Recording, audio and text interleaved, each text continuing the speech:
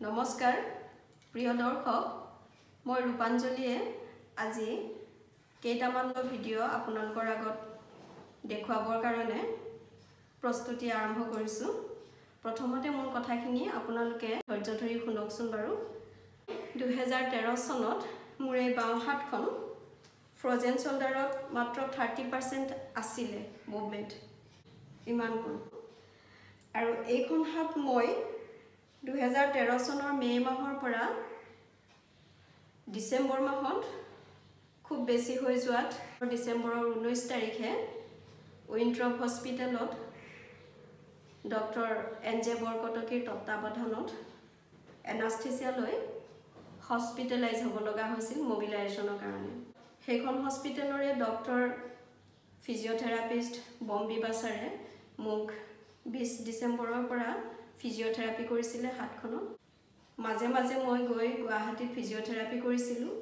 যেতিয়া লখিমপুৰলৈ উভতি আহিলোঁ তেতিয়া বম্বী বাছাৰৰ class friend doctor Tejashree Das ভৰালীৰ ওচৰত মই ফিজিঅ'থেৰাপি কৰিছিলোঁ। ফ্ৰজেন চল্ডাৰৰ ফিজিঅ'থেৰাপিৰ বাহিৰে অন্য ট্ৰিটমেণ্ট নাই। যদিও বেজী ল'লে সকাহ পায় ৰিলিফ পায়। তাৰপিছত আকৌ জুন মাহৰ পৰা আৰম্ভ হৈছিলে দুহেজাৰ সোতৰ চনৰ। সোঁ হাতখন মোৰ ফ্ৰজেন চল্ডাৰ আৰম্ভ হৈছিলে এইখন হাত। তেতিয়া মই লখিমপুৰৰ ডক্টৰ মাংচেগৰ ওচৰত ইয়াতে লৈছিলোঁ দুটা ইনজেকশ্যন ইনজেকশ্যন লৈ মই ৰিলিফ পাইছিলোঁ কিন্তু সেইটো আচলতে সম্পূৰ্ণ ট্ৰিটমেণ্ট নহয়। সম্পূৰ্ণ ৰিমেডি পাবলৈ হ'লে আপুনি সম্পূৰ্ণৰূপে ভাল পাবলৈ হ'লে ফিজিঅ'থেৰাপিৰ বাহিৰে উপায় নাই। মই আকৌ ডক্টৰ তেজশ্ৰী দাস ভৰালীৰ ওচৰত ফিজিঅ'থেৰাপি কৰিছিলোঁ। কিন্তু ফিজিঅ'থেৰাপি কৰাৰ উপৰিও আপুনি কিছুমান এক্সাৰচাইজ কৰিব লাগিব। মই আজি তাৰে প্ৰথম খণ্ড ভিডিঅ'ত সৰু এক্সাৰচাইজ দুটামান দেখাম আৰু সেই এক্সাৰচাইজৰ কাৰণে আপোনালোকক ট্ৰেক শ্বুট টি শ্বাৰ্ট এনেকুৱা ধৰণৰ স্পৰ্টছ ড্ৰেছ নালাগে আৰু ইনষ্ট্ৰুমেণ্টো নালাগে। মাত্ৰ আধা লিটাৰৰ দুবটল পানী আৰু এখন গামোচা।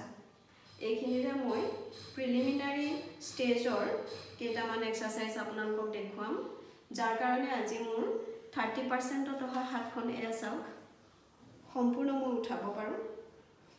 এয়া সম্পূৰ্ণ মই বেক চাইডে ঘূৰাব পাৰোঁ। যিখন হাতেৰে মই চুলি খনিয়াব পৰা নাছিলোঁ। আৰু এইখন চাওক দুহেজাৰ সোতৰ বৰ্ষত মোৰ ফ্ৰজেন চল্ডাৰ হৈছিল। ফ্ৰজেন চল্ডাৰ মানে বাউসী আৰু হাতৰ আঙুলিলৈকে বিষ হাত এনেকৈ উঠাব নোৱাৰি। কিন্তু এইখন হাতো মই এতিয়া উঠাব পাৰোঁ ঘূৰাব পাৰোঁ। এয়া চাওক এইখন হাত। এইখন হাত এতিয়া এই পৰ্যায়লৈ আহিলে। এতিয়া চাওক এই হাতখন যেতিয়া ফ্ৰজেন চল্ডাৰ হয় তেতিয়া হাত এনেকৈও দাঙিব নোৱাৰি এনেকৈও ঘূৰাব নোৱাৰি। আৰু হাত এনেকৈও দাঙিব নোৱাৰি। মুঠৰ ওপৰত ফ্ৰজেন চল্ডাৰত বহুত বিষ হয়। ইয়াত বিষায় ইয়াত বিষায়। বাওঁ হাতখন যেতিয়া হৈছিলে তেতিয়া মোৰ এইবিলাক উঠি গৈছিলে। চেপটো বেয়া হৈ গৈছিলে হাতখন মোৰ এনেকৈ বেকা হৈ গৈছিলে। কিন্তু ডক্টৰ তেজশ্ৰীয়ে মোৰ হাতখন পোনাইছিলে। আজি নহ'লে এইখন হাত এনেকৈ এনেকৈ কৰিলেও পোন হৈ নাথাকে তেনেকুৱা হাত হৈ গৈছিলে। এতিয়া মই আপোনালোকক দেখাইছোঁ বটলেৰে কেনেকৈ এক্সাৰচাইজ কৰিব। এই পানী বটল দুটা লৈ লওক। প্ৰথমতে আপুনি এনেকৈ এটা বটল এইটো এনেকৈ মাৰক। লাহে লাহে আপুনি এনেকৈ পাঁচৰ পৰা দহবাৰ।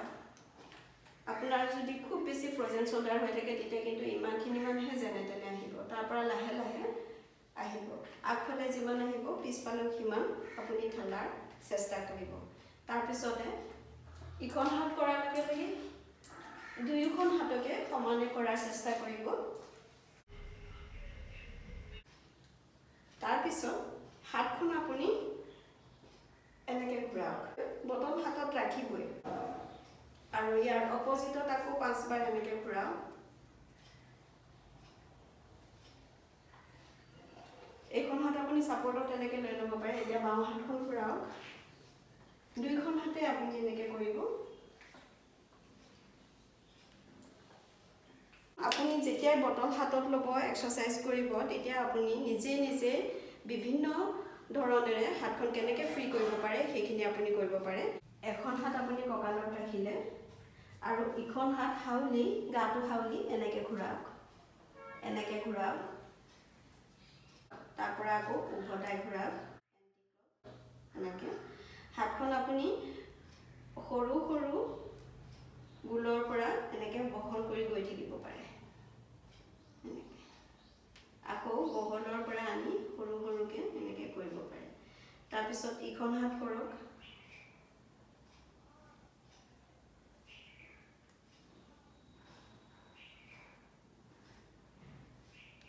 এনেকৈ কৰিলে আপোনাৰ জইনৰ যিবিলাক লক হৈ থাকে বন্ধ হৈ থাকে সেই বন্ধ হৈ থকা পাৰ্টবিলাক লাহে লাহে জইনবিলাক খোল খাব। থকা এখন হাত আপুনি পানীৰ বটলেৰে সৈতে এনেকৈ কঁকালৰ পিছফালে দিয়ক।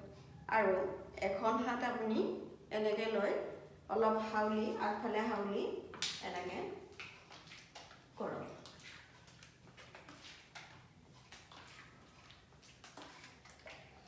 এনেকৈ আপুনি দিনটোত সোঁ হাতখন যদি বেমাৰী হাতখন যদি আপুনি বিছ বাৰ কৰিছে তেতিয়াহ'লে সিখন হাতো কমেও দহ বাৰ কৰিব।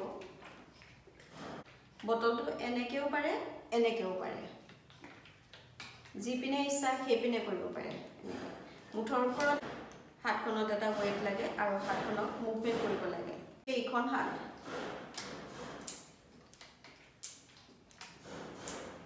আকৌ এনেকৈ।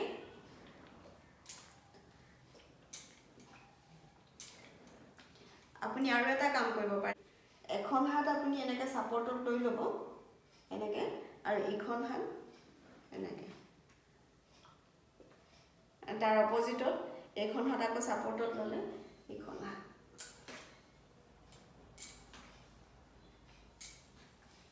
এনেকৈ কৰিলে আপোনাৰ হাতখন দাঙিব পাৰিব পিছত লাহে লাহে।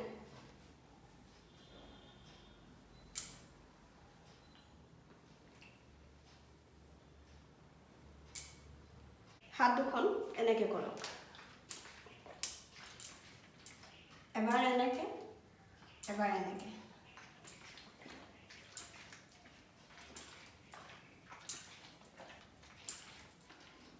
আৰু হাত দুখন এতিয়া এই গাঁঠিটো খুলিবৰ কাৰণে আৰু এই গাঁঠিটো খুলিবৰ কাৰণে আৰু এটা কাম কৰিব পাৰে এইটো।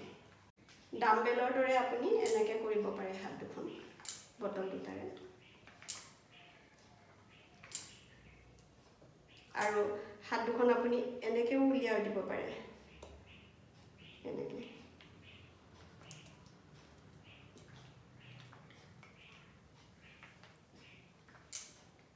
আপোনাৰ হাতৰ এক্সাৰচাইজ বটলেৰে ইয়াতকৈ ভেৰাইটিজ আপুনি নিজৰ ইচ্ছা অনুসৰি কৰি ল'ব পাৰে কিন্তু এইখিনি মই এনেকৈ কৰিছিলোঁ। এনেকৈ কৰি মই লাহে লাহে ভাল পাইছিলোঁ। মই যেনেকৈ কৰি ভাল পাইছিলোঁ সেয়া আপোনালোকক দেখুৱাইছোঁ। প্ৰিয় দৰ্শক এতিয়া এই গামোচাখন চাওক। আপুনি টাৱেল ল'ব পাৰে মই এখন বোৱা গামোচা লৈছোঁ। আপোনাৰ যিহেতু চুলিও বান্ধিব নোৱাৰা এটা অৱস্থা হয় আৰু ভাত বাঢ়িব নোৱাৰা এটা অৱস্থা হয় পৰৱৰ্তী পৰ্যায়ৰ ভিডিঅ'বিলাকত কৈ গৈ থাকিম আৰু কিছুমান কথা।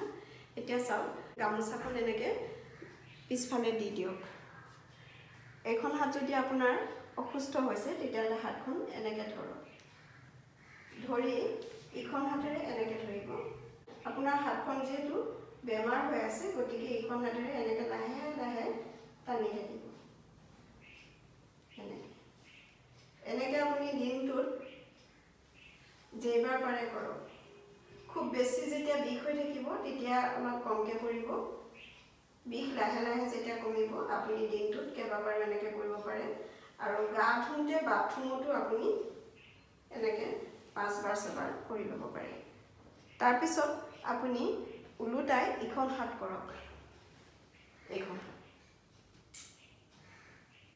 এনেকৈ কৰিলে আপোনাৰ লাহে লাহে পিছত চুলি বান্ধিব পৰা হ'ব। আৰু ব্ৰাৰ হুকো আপুনি মাৰিব পাৰিব।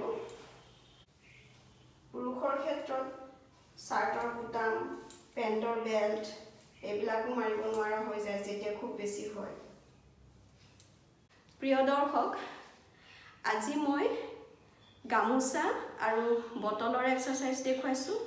পিছত মই ফ্ৰী হেণ্ড কিছুমান এক্সাৰচাইজ দেখুৱাম। প্ৰিয় দৰ্শক মোৰ কথা এটা আপোনালোকক কওঁ। যেতিয়া কলেজ আৰু ইউনিভাৰ্চিটিত পঢ়িছিলোঁ তেতিয়া মই য়োগাসনৰ চেম্পিয়ন আছিলোঁ কলেজতো ইউনিভাৰ্চিটিতো আৰু লখিমপুৰ ডিষ্ট্ৰিক্ট চেম্পিয়নো আছিলোঁ। পিছলৈ কিন্তু মই এনেকৈ ফ্ৰজেন শ্বল্ডাৰত আক্ৰান্ত হ'লোঁ। ফ্ৰজেন শ্বল্ডাৰ কি কি কাৰণত হয় তেনেকুৱা কথাবিলাক মই পৰৱৰ্তী ভিডিঅ'ত আপোনালোকক কৈ যাম। আপোনালোকে ভিডিঅ'টো চাব বুলি মই আশা কৰিছোঁ। আৰু আশা কৰিছোঁ যিসকলে এই পৰ্যায়ত আহিছে ফ্ৰজেন শ্বল্ডাৰৰ হাতৰ বিষৰ পৰ্যায়ত আহিছে সেইসকলে বুজি পায় আৰু সেইসকলে অন্ততঃ ভিডিঅ'টো চাই উপকৃত হ'ব বুলি মই আশা কৰিছোঁ। প্ৰিয় দৰ্শক বিভিন্ন সংস্কৃতিৰে ভৰপূৰ ভিডিঅ' চেনেল ৰূপাঞ্জলি ৰঙানৈ। এতিয়াও যদি আপুনি ছাবস্ক্ৰাইব কৰা নাই তেন্তে ছাবস্ক্ৰাইব কৰক। ছাবস্ক্ৰাইব কৰোঁতে যিটো বেল দেখিব সেই বেলটো এবাৰ চুই দিব তেতিয়া আমাৰ প্ৰত্যেকটো নতুন ভিডিঅ'ৰ ন'টিফিকেশ্যন আপুনি পাই থাকিব। প্ৰিয় দৰ্শক আকৌ লগ পাম নতুন এটি ভিডিঅ'ৰে। নমস্কাৰ।